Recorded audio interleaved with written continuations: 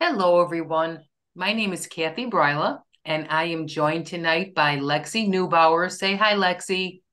Hi, everyone. And we are from Sag-Moraine Native Plant Community. Thank you for joining us for this free webinar, Beautiful and Easy Native Plants for Shade. Uh, we're doing this webinar um, because a lot probably pretty much everybody who's watching realizes that we need to get more native plants in the ground to help our local ecosystem, to help our declining birds, to help our pollinators who are so dependent on those native plants to breed and feed. And, uh, you know, we all know their numbers are declining at a pretty scary pace. And, but for a lot of people who live in a very shady uh, whose yard has a lot of shade from those gorgeous trees overhead, it seems like a like an impossible uh, project to have a nice pollinator garden underneath all those trees and in all that shade. And this presentation is to show you how many beautiful and easy native plants there are specifically for that shady area. But before we start with that, I just want to give you a little bit of an idea for those of you who, are, who aren't familiar with us, who we are at Sag-Moraine Native Plant Community. Our motto is restoring our environment one plant at a time. And we're very deliberate with this motto because we realize that every single plant that we plant makes a difference, makes a difference to our birds, makes a difference to our ecosystem, makes a difference to our pollinators, and just creates a healthier environment. So don't feel like you have to convert your entire yard to a prairie. Please remember that every single native plant that we add to our landscape makes a difference. Sag-Moraine is an all-volunteer 501c3 nonprofit organization. All of our operating funds come from our memberships, our donations and our annual native plant sale, which is coming up on June 1st, uh, 2024. Uh, we do this through education and community outreach, and we strive to change the way people view the plants that surround them. We are located in the suburbs of Chicago, and uh, but like to talk about native plants to pretty much anybody who will listen. So welcome everybody watching this. We envision a future where native plants are embraced for their beauty and environmental impact, inspiring a grassroots movement towards responsible stewardship of urban landscapes. Anybody who owns land or anybody who has influence on land has such great power in improving the ecosystems with which we live. And we want to help make that easy for people and um, you know, check out our website as well. And I'll be talking more about that later because we have so many resources on the website to help make that as easy for you as possible. But I'll talk about that at the end. Oh, no, I'll talk about that now. So you can visit our website, sagmoraine.org. Again, we have tons of information and resources on there, uh, including our native plant selector, which that I will talk about at the very end of this presentation. And also, please visit us on social media we have we are always posting a bunch of information on there useful information to you things that are going on with the organization. And if you are watching this on youtube would you please oh please hit that red button and subscribe. The more people that subscribe the more people will see this very important information that could change the state of the very environment with it, in which we live. So again please subscribe Okay, back to beautiful and easy plants and easy native plants for shade. Yes, it is possible to have a thriving pollinator garden in the shade, and how beautiful it is to have that cascade of color underneath those beautiful oak or birch or maple, whatever kind of trees you have in your yard. How gorgeous it is to have the drifts of color underneath. And I want to mention that all of the plants that we're going to list, Sag-Moraine, we we are really um, our goal is to really help homeowners, business owners in urban and suburban areas that have smaller landscapes. We're not an organization that does that does large scale restorations. We're really trying to help the, the landowners with smaller landscapes add native plants to their landscapes in a in a beautiful way.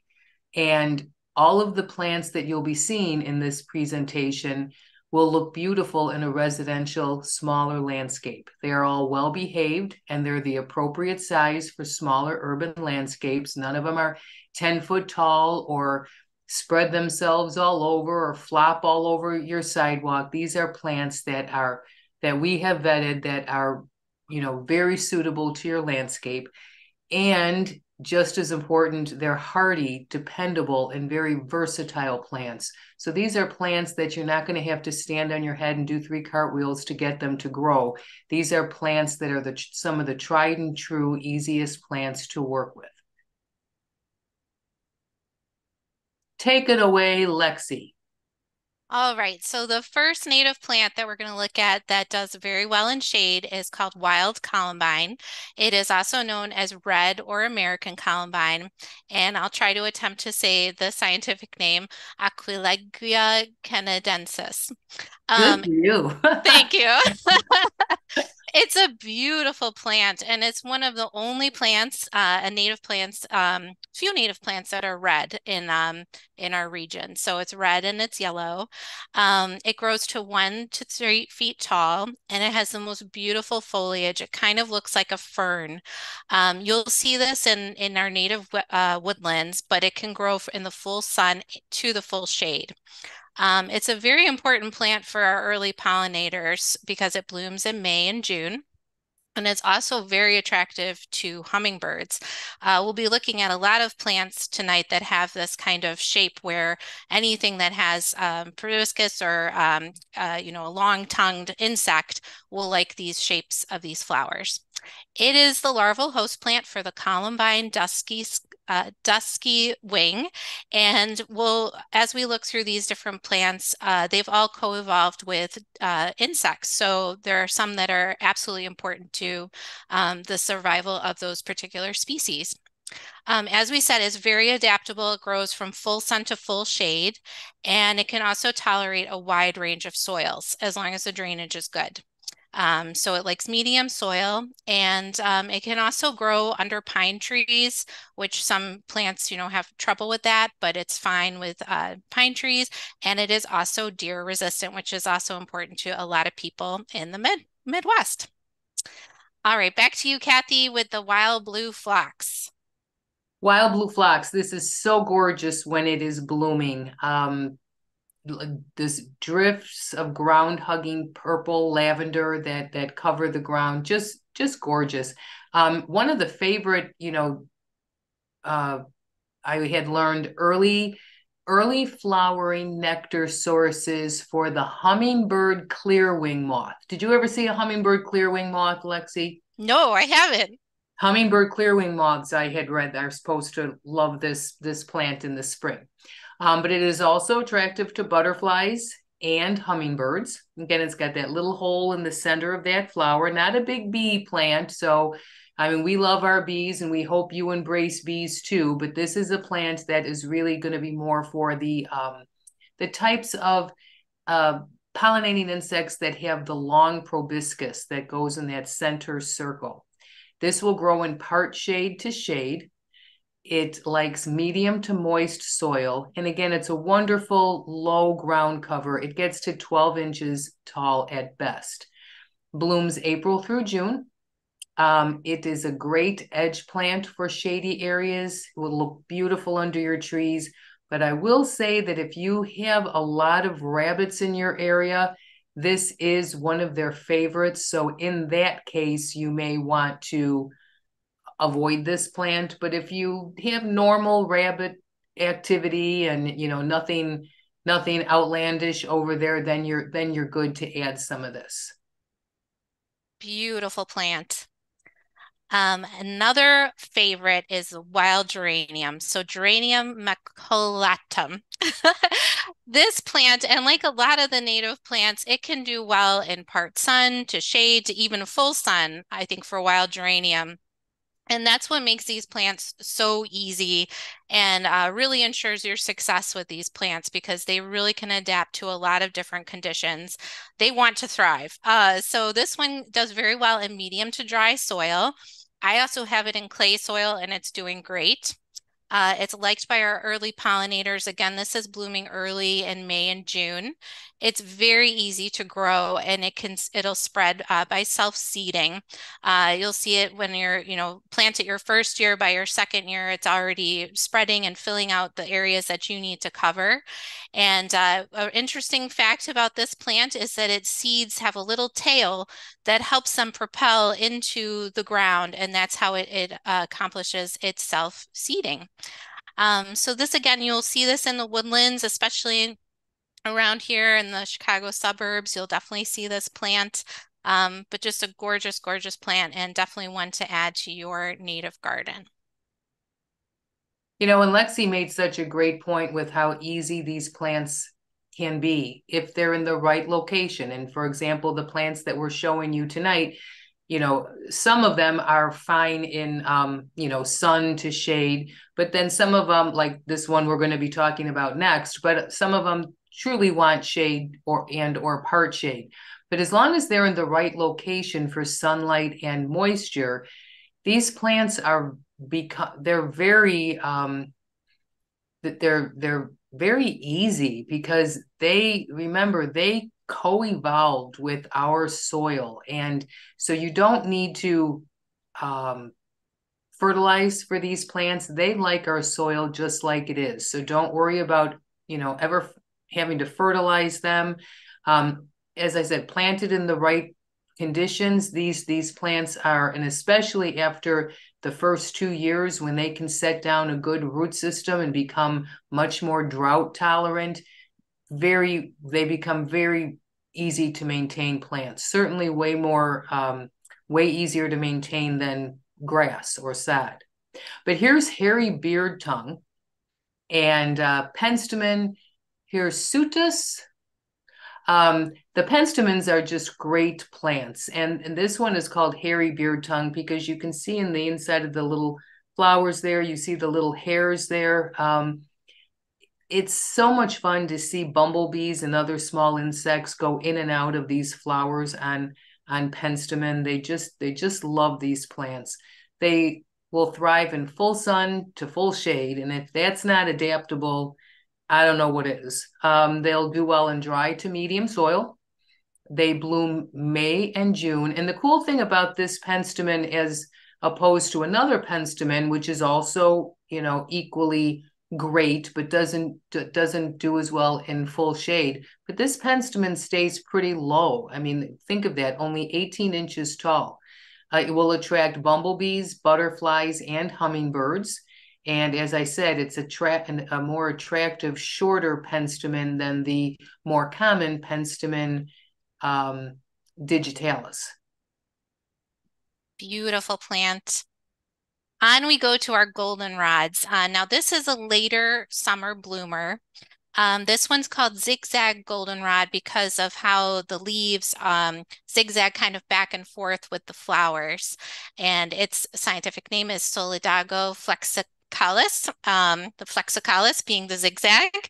Uh, it is a keystone plant for Illinois, which means it's super important and uh, super important to our pollinators and also to our traveling monarch butterflies. Um, it is also a larval host plant. And it, the very important thing to note is that goldenrods do not cause hay fever.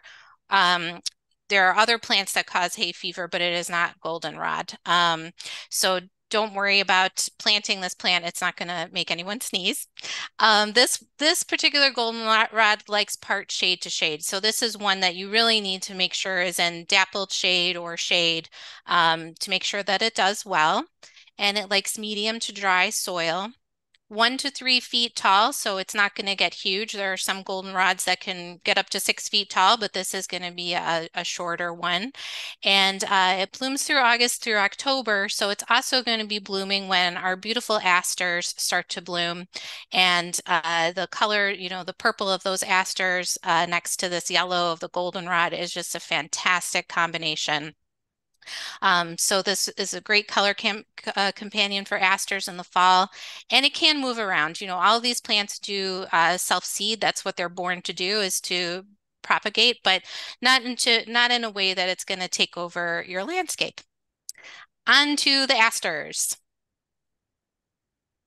Wonderful. And and on that topic, remember any of these plants that do have a tendency to seed themselves, you can, after they flower, you can trim off some of the seed heads to uh, make them less likely to seed themselves around.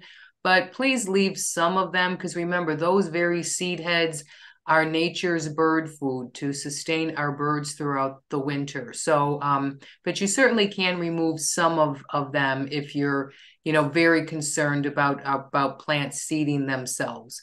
But um, when when my plants seed themselves, I'm always like, "Yay, I have another one!" But um, that's me. So I'm not even going to attempt to pronounce this one. Would you like to try, Lexi? Uh, Symphi try. Oh, I'm I'm wrong. we can just just call it Shorty. this is Shorty. So yes, I mean asters along with goldenrods are are two of the most important uh, types of plants in our in our Illinois ecosystem and so so important for those migrating monarch butterflies that are that we're trying to keep from going extinct. Um, so so important. And yes, here's a wonderful variety that will um, that will thrive in the shade. Most of them like the sun, but this one will thrive in part to full shade. It also stays on the shorter side. It only gets to be about three feet tall. It likes medium to medium dry soil. So again, it's not something that you have to water intensely um, all the time. Blooms August, September, October. Just so important for those, like as I said, those migrating uh, monarchs or the other pollinators that are getting ready to hibernate for the winter.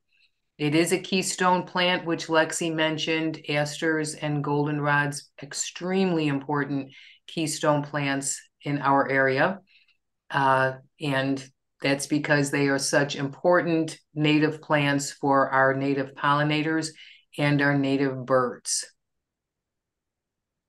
Beautiful. So now we've looked at some really gorgeous flowering plants and we want to fill in some of our garden with some really important plants which are called sedges. And sedges are grass-like plants, um, but they also bloom. And uh, so the genus is Carex, and this one is Carex sprengelii. Sounds kind of like spaghetti, but uh, this, is a long beak, beak sedge, and that has to do with how um, these pods look uh, where the seed head is. Uh, this grows to two feet tall this one really does like shade and it likes medium wet to medium dry dry soil. So you want to make sure this is in either, you know, dappled sunlight or full shade to make sure that it's successful. Uh, it'll bloom from May, June through July. Uh, its active growing season is actually in the early spring and the, in the fall when the soil is cool. And uh, a lot of these sedges, as we look at these different uh, plants, we have a couple more sedges to look at, but they make these beautiful clumps and they just kind of fill in between all of your beautiful uh, flowering native plants. And they just make a really good accent and really add a level of sophistication to your garden. Um, it has this ornamental seed head, which again is very important for our birds. Um, so we talk a lot about pollinators, but the birds are just as important and uh, everything's always interconnected. So those seeds will drop in the fall and will be a great source of food uh, for the birds later on. And it's uh, great for landscaping. It looks really beautiful and can fill in areas. And all of uh, the plants in the Carex family are deer resistant, which a lot of people are looking for. so great one if you've got a lot of uh, grazing deer visiting your backyard. Okay, one of my favorites. Um, these guys are blooming right now as we speak, and I'm so happy that I have um, a lot of colonization of these. They're they're just gorgeous. So these are Virginia bluebells, Mertensia virginica, and um, these are what are called an ephemeral. So spring ephemerals are plants that come up with the sunlight from the because the trees don't yet have leaves. So they come up early, early and do their flowering. So important, life sustainingly important to our early season, early emerging pollinators. And then once by the time the, the trees are leafing out, these um, die back and any other forbs or um, sedges that you have planted under the trees can then come up and thrive. So by the time those start coming up, these are done, but these are going to give you a beautiful, um, just a beautiful mass of color in April and May. They do like, as I said, shade to part shade, uh, medium moist soil, and they get to be one to two feet tall. Uh, they are, as I said, they're a wonderful spring flower and they can form colonies and they will spread. I'm not going to say they're not going to spread. I do have them coming up in many areas, but it's wonderful to see them spread because remember, they're not going to get in the way of any of your other plants that are coming up. They are going to be done blooming and they die back completely to the ground before your other plants really get going. So it's wonderful to have them spread around so you have that beautiful spring color and uh, very shade and woodland friendly. So I highly recommend putting some Virginia bluebells in your landscape. Love that flower. And it's so exciting when they pop up in the spring. Do you, do you, have some blooming? Lexi? No, but I'm getting some this year at the Gotta plant sale. Some. I don't have okay. any yet. I have lots of Jacob's ladder, but I need I need bluebells now. Uh, so the next uh, sedge that we're going to look at is called the common wood sedge. And, you know, these names are kind of funny because they're they sound like they're not exciting, but they're some of the most gorgeous plants. Uh, Carex blanda, there's nothing bland about this Carex. Uh, so this one has a great clumping habit as well that's really beautiful in the landscape and it'll have these little shoots that you can see here um, that just pop up uh, in the spring. So this one is only 12 inches tall. They look really good planted in clusters together. So you could do a cluster of three, you could do a cluster of five, um, but they really add a dramatic effect when you're putting them all together and would look really good in a border like that. Um, these ones will do well full sun to full shade, but again, the Carex family really seems to prefer um, some part shade to full shade and wet to medium dry soil. Um, this one is also deer and rabbit resistant. So again, um, for anyone who has those grazers, uh, th this is a great one to plant and will add some texture and interest uh, to your shade garden. Another sedge. Look at that curly little mop head looking, grassy looking, delicate and wispy. Such a such a pretty um, soft texture on this sedge. It's called curly styled wood sedge or Carex rosa. And um, I guess when the when it starts blooming, when it gets the the the little flowers that turn into seed heads. I guess they have a little they have a little bit of a pinkish color to them. So that's where it gets the name Rosa. Uh, only gets to 12 inches tall. Again, part to full shade, medium wet to dry soil. I mean, it's amazing how adaptable these plants are when you say medium wet to dry soil you know, as a rule, the soil is pretty dry underneath trees because trees take in so much of the moisture. So a lot of these said, you know, plants that will do well in dry soil, they're just perfectly suited to be around the base of trees. This will bloom in June. And again, a versatile sedge that's great in any size landscape. And as I said earlier, works, works well in difficult, dry, shady areas, which is a lot of a lot of tree areas right under the tree. So um, put some of these in so you have that, that beautiful, soft, peaceful carpet of green underneath your trees.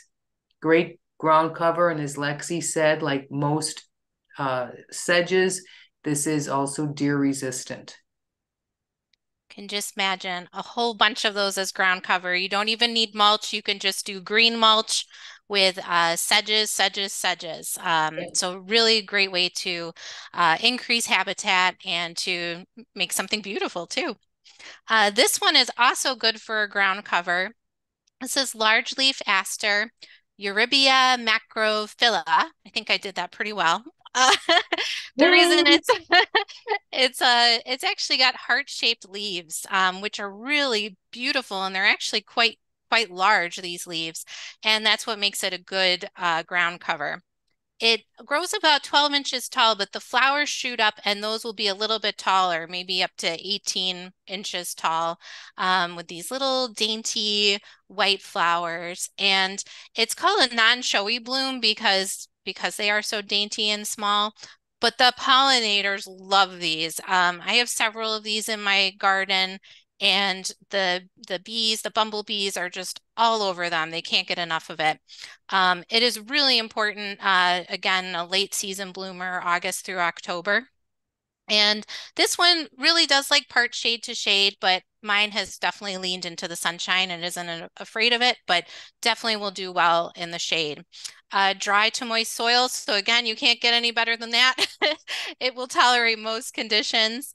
And um, it is definitely shorter than some of our other, other asters. Uh, you know, some like New England aster can get up to five to six feet tall, but this one uh, is definitely a little bit lower and is a good uh, border plant for your shade garden.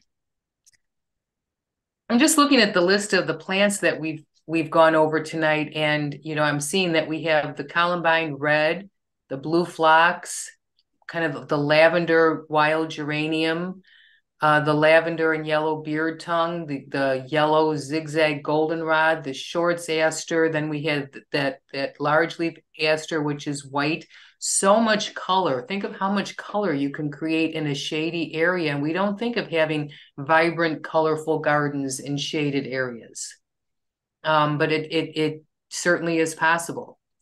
So with that, I mean, that will conclude our list. I do just want to mention to everybody who lives in the, the Chicago area um, that we are having our third annual native plant sale on Saturday, June 1st, 2024 from 9 a.m. to 2 p.m. at Moraine Valley Community College. Anybody who watched this um, uh, presentation and would like to place an order at our website, uh, enter the code shade 10 at checkout to order a um if you at, at checkout if you're going to order a pre we have thousands of plants available for individual purchase the day of but we have a pre-order uh, component to our plant sale and if you order those online until what date lexi? Uh, uh until mother's day so may 12th um, our plant packages will be available. And and so put in shade 10 at checkout and we just wanted to show you one of the um, packages that we're or, offering this year is our shady sanctuary full shade package and you can see that it comes in 10 inch plants i mean i mean 10 plants 20 plants or 50 plants and the plants that we went through tonight are all represented in our 50 plant package uh, but these packages will not only, I mean, you not only will have the plants, but you will also have the design and know how to arrange them as you plant them. Uh, shorter plants in the front, taller plants in the back. All bloom, you know, all blooming seasons are represented. So you'll have lots of shady color throughout spring, summer, and fall. And here's the, the photo and, and the different plants that are in that full shade 50 plant package. So again, if you live in the area and you're looking for another way to make creating a shade garden easier, uh, check out this plant package. But otherwise, please check out wherever you live some of these plants that we discussed tonight. Just wonderful plants to, to bring habitat and life and beauty and color to your shade garden. And thank you again for joining us and visit or to help you do that please visit our native plant selector at sagmoraine.org because the plants that we discussed tonight are in no way um, the only appropriate plants for shade or check out some of the other site conditions we have a great native plant selector on the website. And again, all these plants have been vetted to be plant native plants that are appropriate for smaller urban and suburban landscapes. So again, please check that out at sagmoraine.org. Thank you for joining us tonight and happy gardening.